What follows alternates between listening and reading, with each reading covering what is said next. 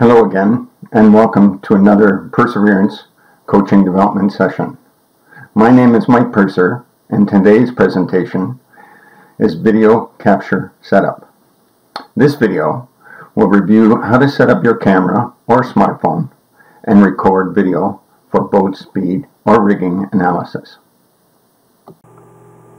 First, the camera or smartphone must be set up on land and held stationary, aimed perpendicular to the path of the boat.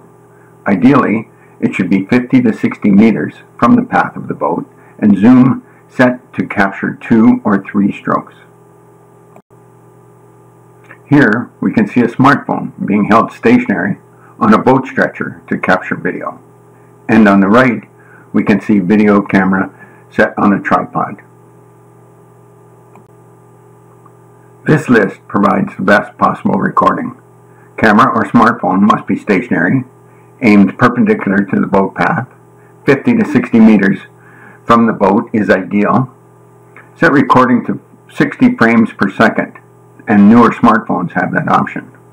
Almost any video format will be usable. Use a bow marker to improve the boat tracking during analysis. The rower should be at race rate and race pressure, not sprinting for best analysis. And remember, Measure the length of your boat as it will be used for a distance reference.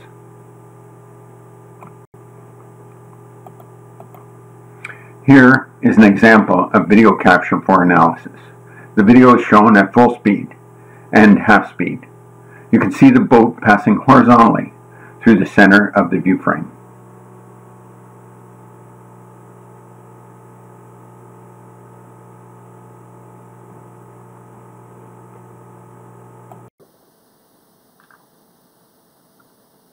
This concludes the video capture setup.